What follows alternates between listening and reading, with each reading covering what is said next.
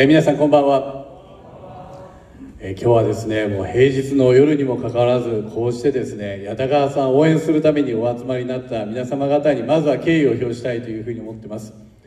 3年前の知事選挙矢田川さんと一緒にですねこの捜査もまたこの10区のそれぞれの各地域訪れさせていただきました。私もこの10区のそれぞれの地域の課題当然頭に入れて臨んでまいりましたけれども矢田川さんが当時ですね本当に熱い思いでですねこの地域はこういう課題があるんだと目で見てほしいんだというような形でですねそれぞれの地域を紹介をしていただきました。私知事に就任した後もですねこの捜査も含めて54市町村全て1年半で訪問いたしました。この現場でしかわからないこの地域の課題それを一つ一つ今日はあの宮内市長も佐藤横島ゆかりの町長もいらっしゃいますけれども直接話も聞きながらですね、えー、伺って今県庁としてどのように課題を解決するかということに取り組みをしております。少し矢田川さんがこう国会等でも質問したり活動していただいている地域の課題今県としてどういう取り組みをしているかを少しご紹介をさせていただきたいと思います。私ここに来るまでに県央道を通ってそして銚子連絡道路を通ってやってまいりました。もう地域の皆さん方から何度も私も言われましたけれども銚子連絡道路はいつ開通するんですか銚子までと。この思いは共通だというふうに思っています。私知事に就任した後この銚子連絡道路の整備を行う部署を作って組織を強化をいたしました。予算も令和3年度まで県の予算25億円でしたけれども2倍の50億円に増やしました。そして今年、え、春に、え、捜査までようやく開通をいたしました。これから朝日そして銚子に向かって一日も早く開通できるように取り組みをしていきたいと思います。この総裁朝日も含めた豊かな農業の農産物もしくは畜産物また銚子のさまざまな水産物そうしたものを1時間でも早く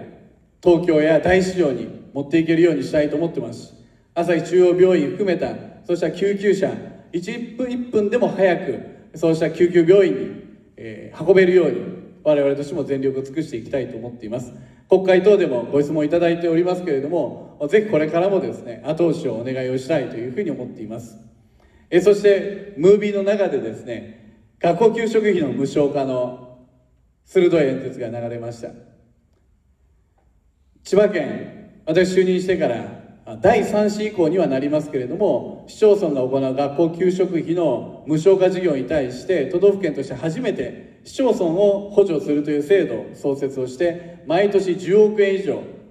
予算を計上してそして毎年4万人近い子どもたちが無償化の対象になっています。学校給食費ぐらい無償にしてあげたいじゃないですか。私はこう異次元の少子化と岸田総理前総理おっしゃいましたけれども私は少子化対策子育て支援やるんであればこうした部分から私はどこに住んでもですね無償化になる。そういう時代をやっぱり国が責任を持って作ってほしいと強く求めておりますし全国知事会でもですね毎年そうした決議を国に対して出してきております。えー、この部分についてはですね矢田さんにはぜひこれからも国会で強く強く求めていただきたいというふうに思ってます。そして最後に成田空港の問題です。成田空港に関してはですね本当に多くの方々の苦渋の決断とご理解によって今2029年第三滑走路の新設を含めた成田空港の敷地面積が2倍になるというもう数十年に一度の大きな大きなタイミングを迎えています。その時に成田空港だけではなく成田市だけじゃなく成田空港の東と南がしっかりと成田空港あってよかったというふうに思ってもらえるような活性化の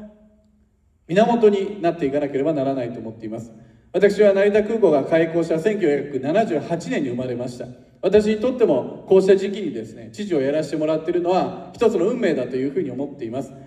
今私になってから成田空港の専門に考える専門部署作りました。そして成田空港の周辺地域にいかに成田空港を生かした産業を持ってくるかということを取り組んでいます。今成田空港というのは日本を代表する国際物流拠点です。航空貨物の6割が日本の成田に集中しています。えそして成田空港は日本で最大の貿易港になります。トヨタの車が出荷される名古屋港よりも東京港よりも輸出入の総額が私たちの成田空港が1位なんです。こうしたアジアを代表する物流拠点だからこそですね。この成田空港の周辺に国際的な物流拠点であったりもしくはさまざまな研究開発拠点であったりそうした先端産業を呼び込むことは十分に可能になります。